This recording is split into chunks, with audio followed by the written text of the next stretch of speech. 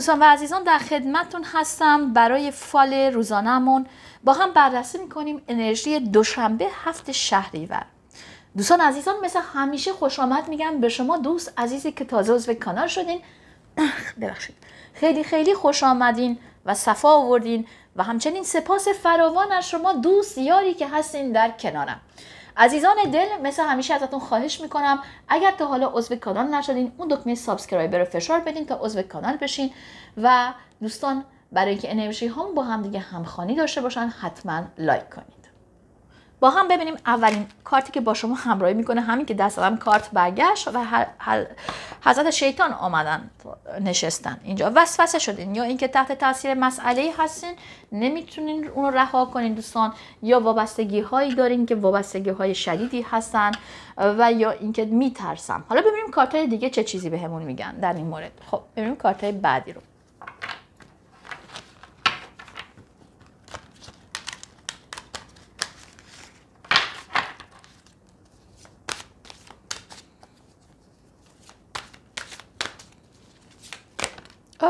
یکی افتاد دوستان. حرف از کالسکه می‌زنین دارین پیشرفت می‌کنین و جلو میرین در مسائل زندگیتون در استقلالتون و در اینکه خودتون رو از این وسواس رها کنین دوستان توجه کنین کارت شیطان همیشه کارت بدی نیستش. کارت شیطان و در کنار کارت کالسکه برای من کارت بسیار خوبی هستش. یعنی که با سماجت هم می‌خوام مسائل جلو برم و واقعا خوب هست. یه وقتای شیطان اون وسوسه ای هست سماجتی هست که ما خودمون داریم و با کالسکه دارم جلو میرم در راه خودم و در راه هدف خودم. خب بریم ببینیم کارت دیگه چی به همون میگن دوستان. از کارت از این کارت استفاده می‌کنم.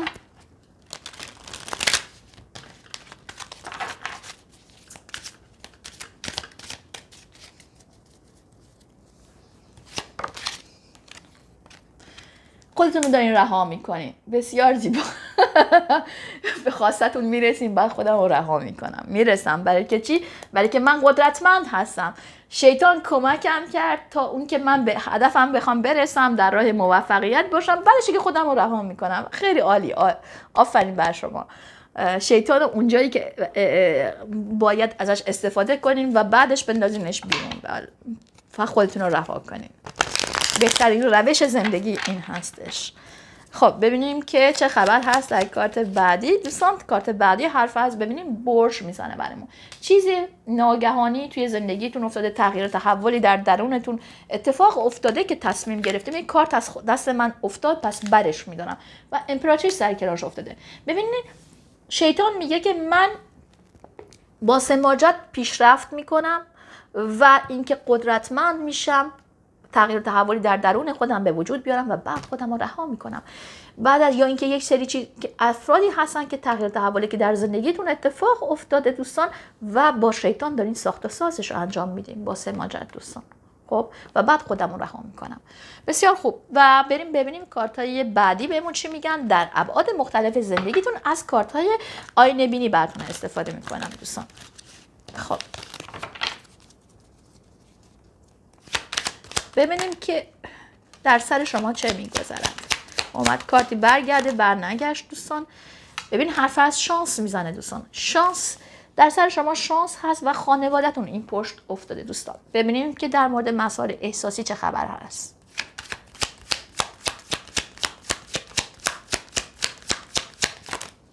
دو تا کارت افتاد. در مورد مسائل احساسی حرف از امضا می‌زنه. برای شما دوست عزیزی که دارین نگاه می‌کنین و اینکه دارم براتون شادی می‌بینم. مسائل احساسی دوستان مسائل عشقی حتما نیستن. شاید امضای پرونده مدرکی قراردادی هم باشه که حال دل شما رو خوب کنه. به حال هرچی هست حرف از تعهد و شادی می‌زنه دوستان. خب ببینیم در مورد مسائل کاری شما چه خبر هست. در مورد مسائل کاریتون دوستان گشایش براتون افتاده. در مورد مسائل کاریتون و اینکه به سمت سرنوشتتون میرین فاصله می‌گیرین ممکنه هم حتی حرکت کنین برای مسائل کاری و گشایش سر بر روی مسائلتون هست. و در مورد مسائل مالی هم شادی دارم براتون می‌بینم. تغییر تحولات مالی در راه هست برای شما دوستان و ببینیم در مورد چالش شما چی هست.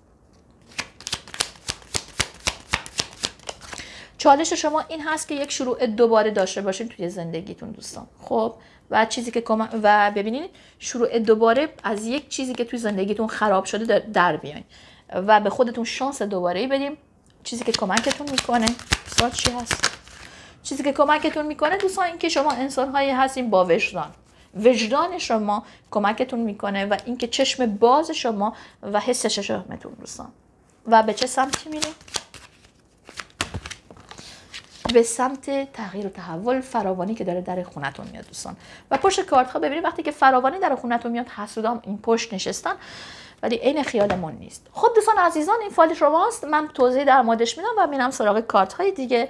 پس دارم می‌بینم که با سماجت پیشرفت دارین می‌کنین. میچسبین به یک مسئله با پشت کار. چیزی رو می‌سازم. چیزی که شاید خراب شده باش بوده باشه. قدرت دارین می‌گیرین و خودتون رو دارین چی می‌کنین؟ رها می‌کنین دوستان. بسیار زیبا و بسیار خوب. دارم می‌بینم در سر شما این هست که شانس دوباره به زندگیتون بدین دوستان. به فکر یک در مسائل احساسیتون دوستان براتون امضا قرارداد تعهد افتاده. گشایش در مسائل کاریتون هست و دارم می‌بینم که شادی در مورد مسائل احساسیتون چالش شما این هست که شروع دوباره به زندگیتون بدین و اینکه چیزی که کمکتون می‌کنه این هستش که احساس ببین دوستان اینکه وجدان دارین و همچنین از خودتون احساس گناه رو پاک می‌کنین و به سمت یک فراوانی و پول و مادیات خوب دارین میرین. خب دوستان بریم ببینیم که فرشتگان عشق چه پیامی براتون دارن.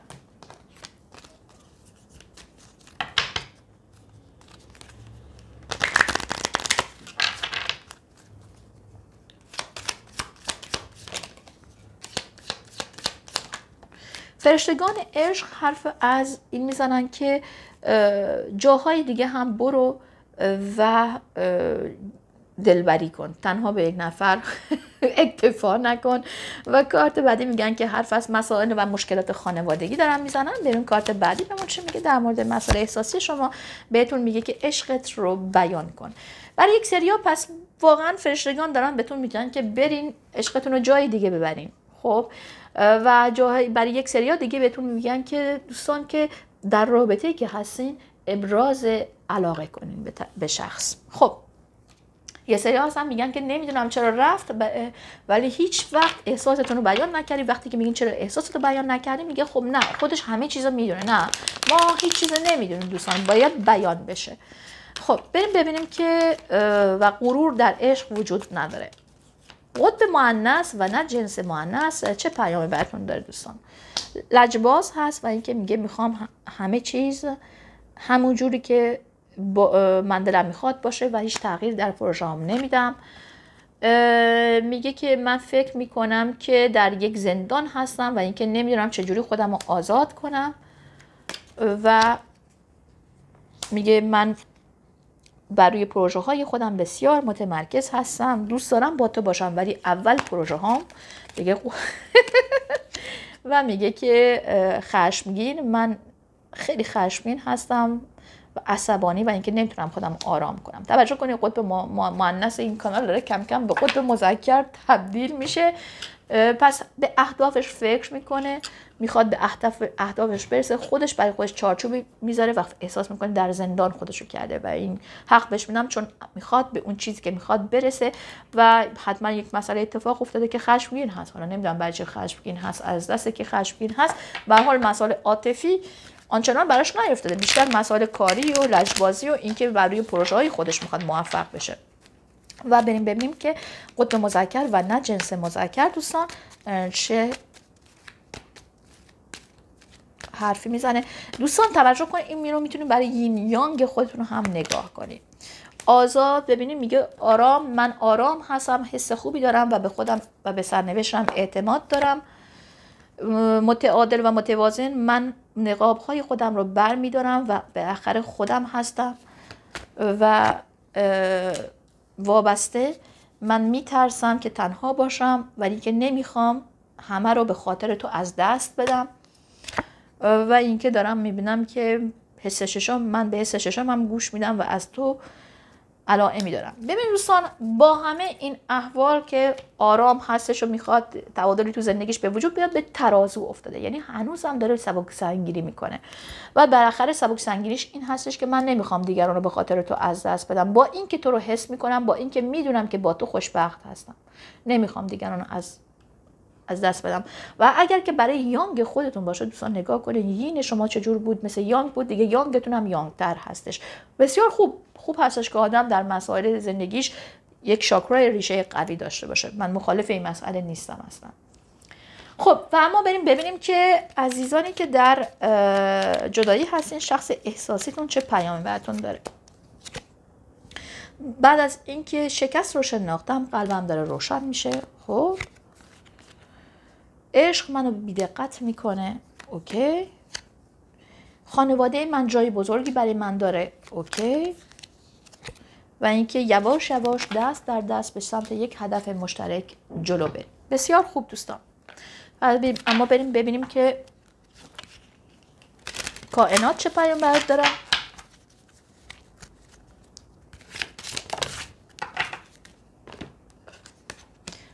حرف از اتحاد الهی می‌زنه دوستان. تو در درون خودت خاطرات چیزی بزرگتر از خودت رو می حمل می‌کنی. خدا کائنات سرچشمه هر اسمی که می‌خوای روش بذاری بذار. یادت باشه پیام من برای تو این هست. من درخت هستم و از شاخه های محکم من میوه های بسیار زیبایی میرویند. از این میوه ها من دانه هایشان را جمع می کنم و میکارم در درون خودم و تو اون تو قسمتی از من هستی و من تو هستم. بسیار زیبا. و ببینیم عزیزان و ما فرشتگان چه پیامی براتون دارن دوستان؟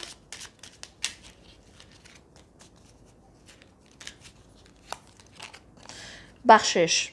بذار گذشته رو برای گذشته روشن کن قلبت و روحت رو با قدرت ببخش.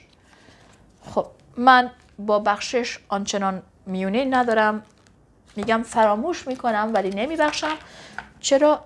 یک سری از چیزها رو چرا آدم میبخشه ولی همه چیز رو نه. همه چیز رو نمیبخشم. این دیگه هر کسی خودش می‌دونه که ببخشه یا نبخشه ولی فراموش می‌کنم چون فراموش نکردن باعث میشه که حالم بد بشه. ببین دوستان حرف از خانواده. من به خانواده خودم افتخار می‌کنم. می‌دونی چقدر خانواده من برای من مهم هستن؟ برابر این مهم هست که من در کنار شما باشم. من به خانواده خودم افتخار می‌کنم و من حساس هستم به افکار شما و من در شما یک انرژی بسیار بزرگ می‌بینم. برای اینکه شما این زندگی دنیوی رو درست جلو ببرید.